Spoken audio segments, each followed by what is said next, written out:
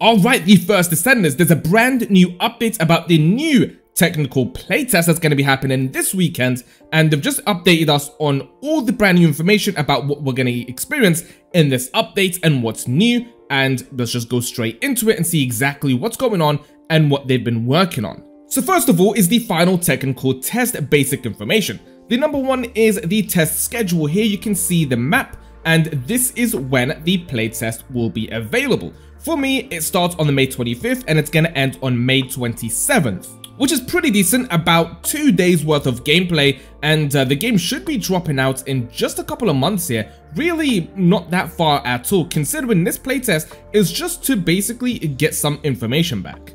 For the second is the supported platforms is Steam, and that's about it. Please note that this test is solely on PC platform for technical verification purposes.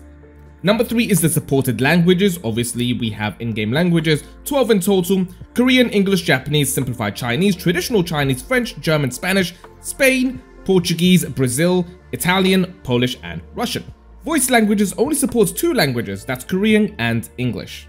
How to participate. The test is an open test available for anyone to play via the Steam platform during the test period. Number 5 is the pre-download instructions. Pre-download is available one day before the test starts, which is going to be the May 24th. And here you can see the PC requirements if you do not have the best computer, if you are maybe wondering what you need to play this game, there you go, you need at least a 2060 recommended and an i7-7700K for the recommended specs. But it shouldn't be too difficult to run, pretty much a lot of people have these specs if you are mainly a PC gamer anyway. I'm running about a 3070 Ti, so I should be good. The technical issues, the Intel CPU issue is also a problem. Crashes have been reported on some Intel 13 and 14 gen uh, CPUs, um, some PCs using these CPUs experience a forced shutdown of the game with the error message out of memory upon game launch. This can be partially resolved by setting power limits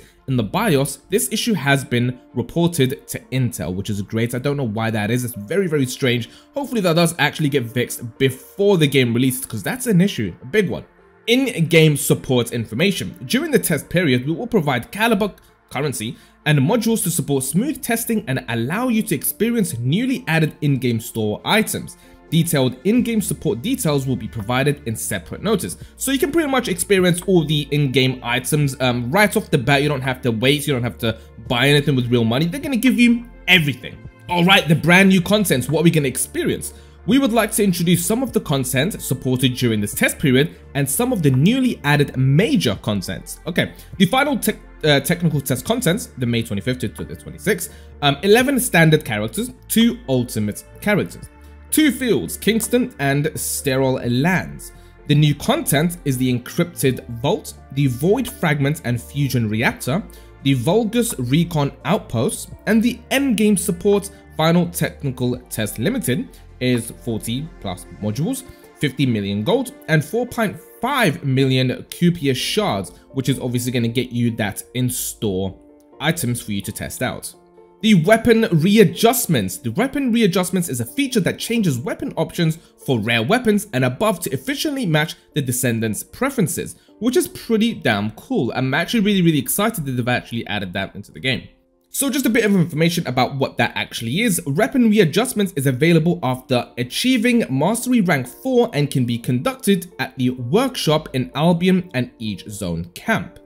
The locations of these workbenches can be checked at each zone camp in Albion using M, current region, and F1 legend to find the workbench, that's the symbol for its locations. Weapon readjustments consumes readjustments materials, adjustments control axes, and gold for common to rare weapons, and fine-tuning control axes and gold for ultimate weapons. Additionally, when changing options, you can lock options that you do not wish to change. Locked options will consume more materials.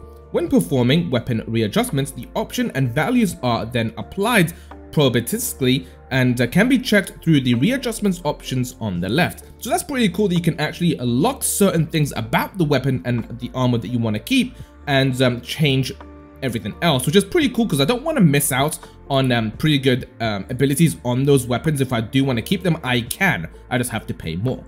Next up are Void Fragments. Void Fragments are newly added field content placed throughout each zone. Each void fragment has an attribute indicated and they can only be destroyed using descendant skills that match their attributes fire attacks do not deal any damage. Uh, firearm attacks do not deal any damage. Okay, which is pretty cool. Um, if a void fragment is already being engaged by another descendant, you can join the quest by entering the arena uh, around the void fragment. However, if you do not use the descendant with the matching attributes, you will only receive the basic reward and not the conditional reward. So make sure you do join with that right attribute if you do want the final rewards. While, while, progressing with Void Fragments, you can obtain various types of Void Shards, which can be used in the Void Fusion Reactor. The reward and attribute information for Void Fragments in each region can be checked by going to G, the world map, selected the desired zone, hovering over the Void Fragments icon. And that's what it looks like right there. This is the Void mission, and obviously you do need a Void Fragment, um, destroyed by void fragments. And it's more or less, the playtime for this is about 5 minutes or less, so you can complete it semi-quick. And obviously you do have the Legion of Darkness, a monster at level 7, which is the, I'm guessing, boss for this mission. And finally, we do have the Void Fusion Reactor, some more information about that. The Void Fusion Reactor newly added field content along with the Void Fragments is placed throughout each zone. Each Void Fusion Reactor indicates the type and quantity of Void Shards needed and you can summon monsters by meeting these requirements, which is pretty cool actually. When defeating these summoned monsters, if you possess all the required Void Shards, you will also receive additional rewards, and the Void Shards will be automatically consumed. Descendants who do not possess Void Shards can still help defeat the monsters near the Void Fusion Reactor to receive basic rewards, which is pretty good. You also do get an incentive to play these things.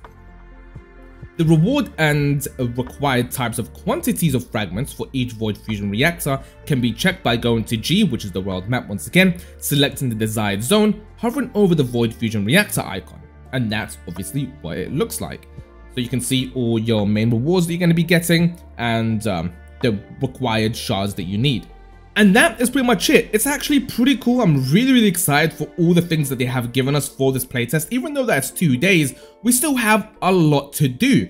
And obviously you can replay a bunch of different characters to test out 11 standard characters and two ultimate characters in just two days, which is pretty cool. You do have a lot of, um, uh, you know, stuff to buy from the store with the money that they're going to give you and the equipment they're going to give you. You have two fields to try out, you have new content to try out. It's a lot just for being a quick test before the release, which is honestly, I'm really, really excited for it. I'm going to get downloading the beta as soon as possible, which is um, the Friday. I'm going to get that downloaded as soon as I can. Anyway, I really, really hope you guys enjoyed this video. Let me know down in the comments what you are excited for about the test and if you're excited for the full release. I sure am and I cannot wait. I'll see you all very soon.